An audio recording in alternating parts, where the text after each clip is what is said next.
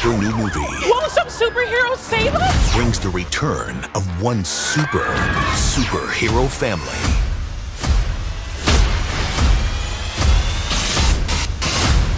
Thundermans reporting for duty. The Thundermans return.